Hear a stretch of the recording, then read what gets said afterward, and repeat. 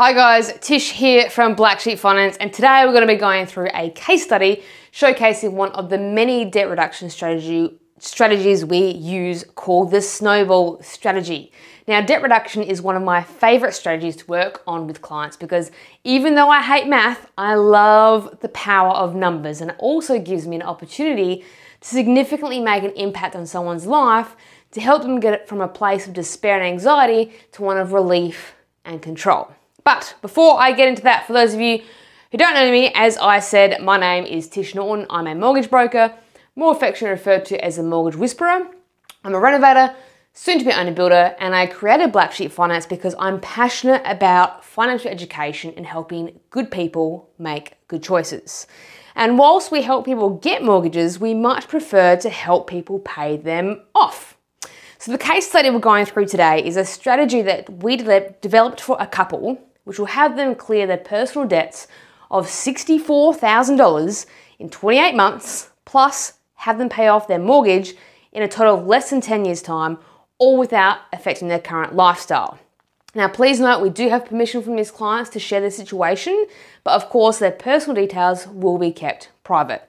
And I must also insert a disclaimer here that what I'm about to show you is general advice only and not to be taken as financial advice as to what you should do, as everyone's situation is different. So I repeat, this is not financial advice. You should consider seeking independent legal, financial, taxation, or other advice to check how this information relates to your unique circumstances. End of disclaimer. Okay, so what is the snowball strategy? Essentially, it's finding a lump sum of money and targeting that onto one debt at a time. Then, as the debt gets paid off, the snowball or lump of money increases in size and your debts get paid off in a cascading manner that gets faster and more powerful with each debt that is repaid. Now, this is not a one size fits all approach. It depends entirely on your position, how much debt you have, how much equity you have, the interest rates, terms, how many debts, and if you're currently experiencing hardship, etc. etc.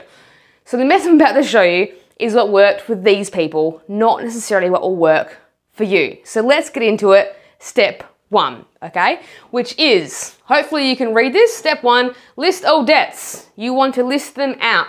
The balance, the rate, the term, your minimum repayment, and more importantly, your current repayment.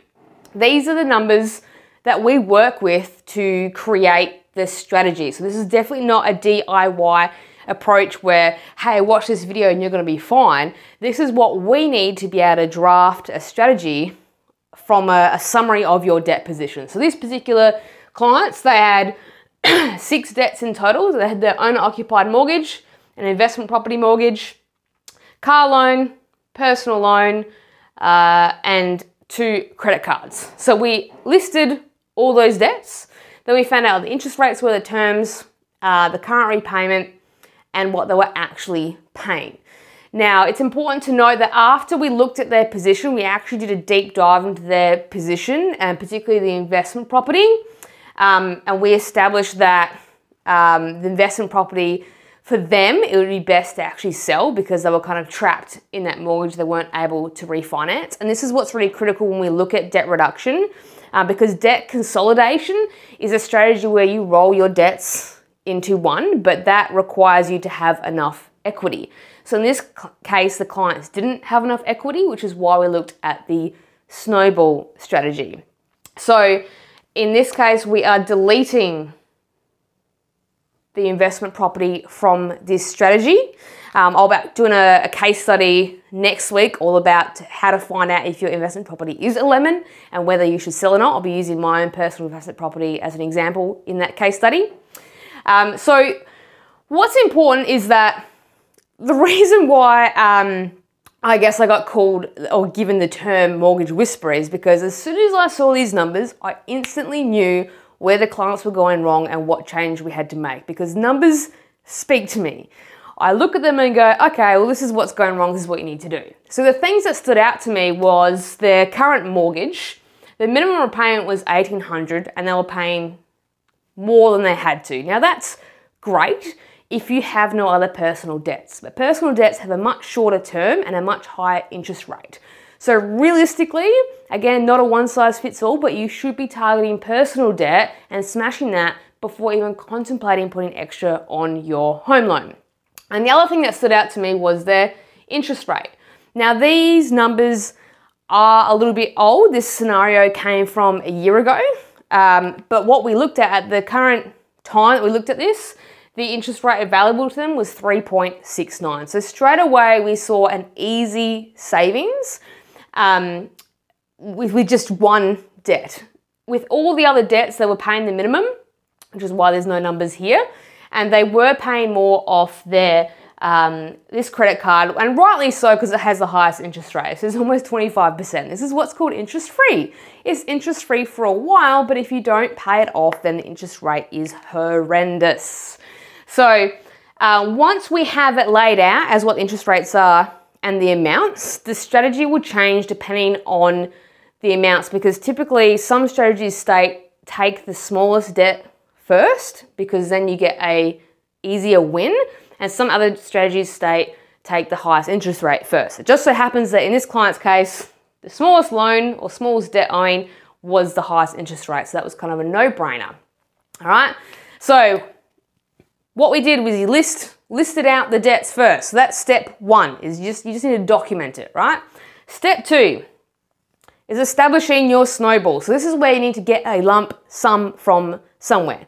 So clearly the lump sum we were able to establish was from that home loan. So not only was there a $600 difference in the existing loan, by refinancing, we were able to increase that snowball to $837. Now, because we were targeting the smallest and highest percentage loan first, we didn't need to adjust uh, this next one. So our snowball, our first lump sum started at 837, right? So that's establishing your snowball. Next step, apply that to debt one, meaning which debt are you going to pay off first? So you grab that lump sum. So what we did was we're going to refinance this out, get them back to a low repayment over a new 30 year term. Before you scream, oh Tish, you can't refinance onto the 30 year term because that's bad, we still include the mortgage in the debt reduction strategy as you'll see. So we pay off the personal debts first and then we smash the mortgage bringing that 30 year loan term down significantly. All right. So debt one, we've got the 837 plus the 500, so they're already paying extra off. The minimum is only 240. So it's a critical thing that in this strategy, if they were paying more, you need to put all your debts back down to the minimum minimum on everything except the one that you're targeting. So the whole idea is you're taking the full force of all your money and you're smashing it off one debt at a time. So once, and obviously, you know, this one's only four and a half thousand, so that's gonna go super quick. Once that is paid off, we then have a new snowball, which gives us to step four. Once paid, take the new bigger snowball and apply it to debt two. This is where we get the cascading effect. So debt two we decided to target was the car because um, it was almost the next lowest amount owing, but it also had a slightly higher interest rate than this credit card, which was 5.19. They got a linked credit card to the home loan, which is why it was uh, such a low rate for a credit card. So again, over here you can see the snowball increasing, only tiny amounts, so you probably can't read it. But over time, your snowball increases. So you pay off one debt, you take that new payment. So you were paying a minimum here, you have your snowball. Once that debt is paid, you've got that minimum you were paying that now gets rolled into that snowball, which you can apply to the next debt and so on and so on. So what happened with these guys is after paying off all their personal debts, they now had a new snowball of oh, just over $3,000. $3,053 was their new snowball. Their minimum payment on their home loan they were still paying is $1,563. So in total, they've now got over $4,500 as a giant snowball. And this is where step five is really important. Obviously, rinse and repeat to get through all your personal debts, but a lot of people stop and they go, ah, oh, and they fall back into bad habits because they've got all this excess money now, all their personal debts are gone and they relax. Step five is the most important. So if these guys were to keep going, they would have their home loan paid off in less than 10 years, right? That is crazy. And then after that mortgage is paid off, what we encourage people to do is now you've got four and a half thousand dollars um, per month. You can save that now. Imagine what lifestyle you're going to have and how much earlier you can retire if you pay a mortgage off in 10 years. Like that's insane. Right? So that's what we encourage is that get your snowball, clear all your personal debt, smash your mortgage, and then just keep going. That is the key, guys. Commitment as well. So hopefully you've enjoyed that and it's been a little bit insightful. Obviously, debt reduction strategies are very specific to individual people. So if you yourself would like a strategy developed for you, then please get in touch with Jason or myself and we'd be happy to help you out.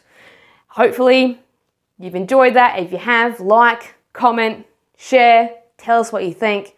Thanks so much for watching. My name is Tish Norton. Have a great night and I'll see you soon.